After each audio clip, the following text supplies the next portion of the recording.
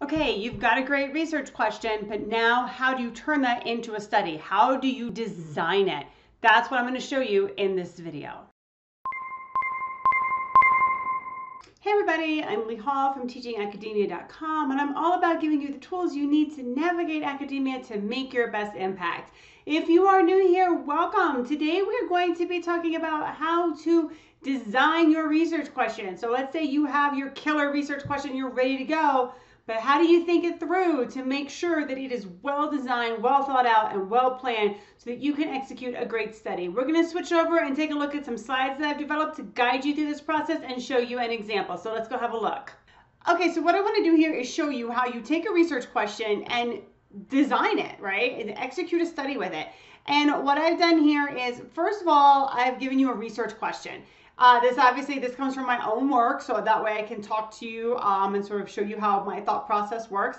Um, and so this question is, how do students' discussions about text and comprehension strategies look similar and or different based on their identities as readers and their reading abilities? Okay, it's got a lot of jargon in it, I get that. Um, basically what this was is this was a, a two month, three month study, excuse me, three month study with middle school, sixth grade students in, so, in a social studies class their teachers were giving them reading instruction, teaching them specific strategies to use to help them understand social studies text.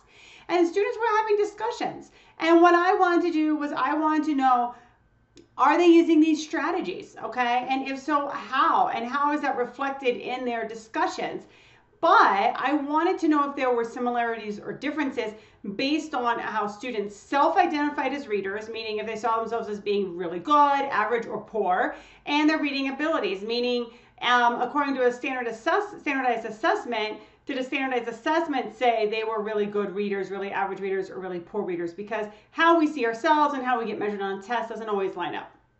And uh, I have a citation here at the bottom. I'll include this in the notes in case you're interested. That's where you can find this full study if you want to take a look at it. So basically, um, as we get into this, I want to point out the very bottom of this slide, I have written my research question again, right? So it's there for reference, okay?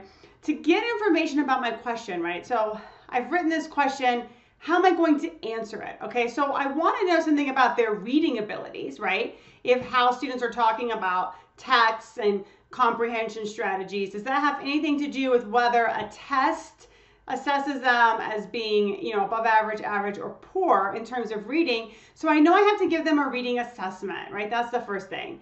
Um, I also want to know how students see themselves as readers, right? Do they see themselves as being really good or just okay or poor? So I know I'm going to have to assess that, right? So I'm going to have to assess their own self efficacy, their beliefs or understandings about themselves. Um, we're going to have some instruction going on with this. Teachers are going to be teaching them comprehension strategies and strategies for discussion. So I know I'm going to have to observe the teachers, right? And I know that's going to require me, I'm going to want to audio record those lessons, um, you know, in case there's any confusion about what happened, in case something got missed. I know I'm going to want to design a checklist to make sure that there is um, efficacy to the intervention going on, what's happening, how long are things, different components happening for. And then, of course, I have at the very beginning of my question, how do students discussions about text?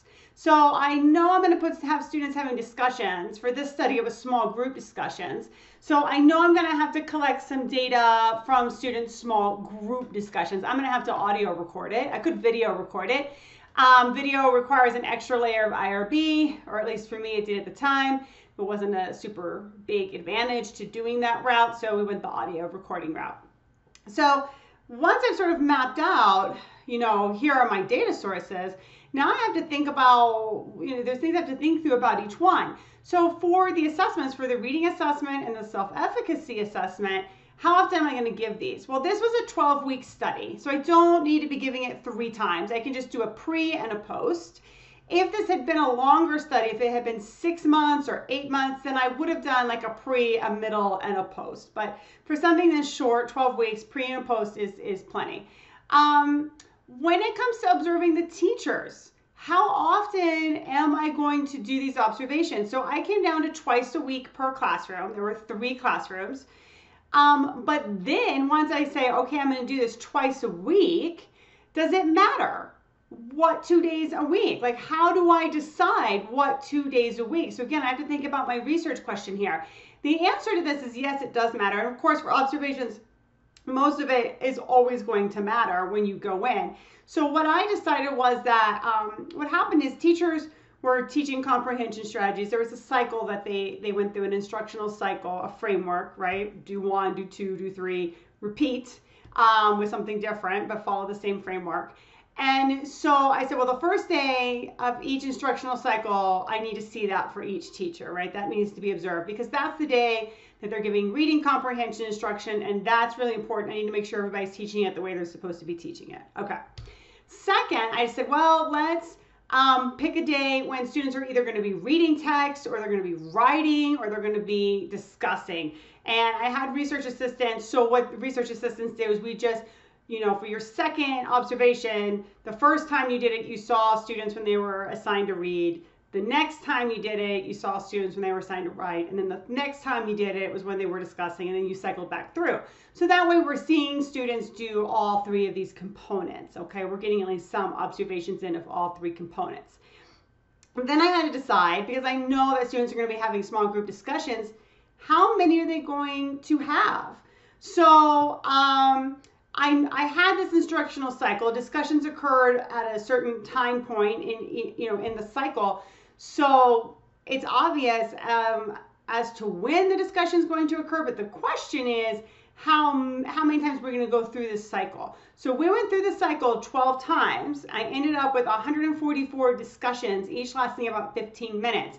I could have gone more. I don't think more would have been better because I'm pretty saturated with data at this point. 144 discussions times 15 minutes is a heck of a lot of data that somebody's got to analyze, transcribe and analyze, right? So you have to think about it in terms of managerial aspects. What can you reasonably manage, and what do you, how much do you reasonably need? I probably could have gone a little bit smaller. I probably could have gone maybe 10, um, you know, small group discussions, shaved a little bit off. I wouldn't have wanted to go much smaller than that because I want enough data that I am somewhat saturated so that patterns are emerging when I get to analysis and students have had time to learn these instructional, um, what they're supposed to do and they, they understand how, you know, what kinds of things they're doing and the expectations and what it is that they need to do.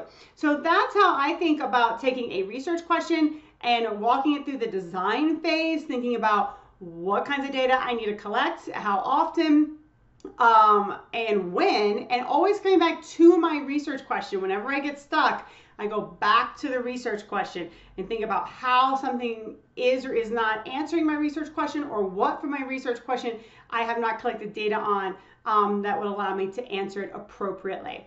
All right, so thanks for watching. Don't forget to subscribe so you can catch all of my videos. And if you need help designing, um, learning qualitative design, I have an introduction to qualitative research course. I will put a link for that to you in the show notes. Um, feel free if you have any questions, ask me about it in the comments. In the meantime, head on down to the comments and let's talk about designing research studies. If you want to, you know, float some research questions out there, get feedback on them, talk about data collection, um, any kind of challenges, successes that you have, let's talk, let's collaborate, let's support one another on our academic journeys.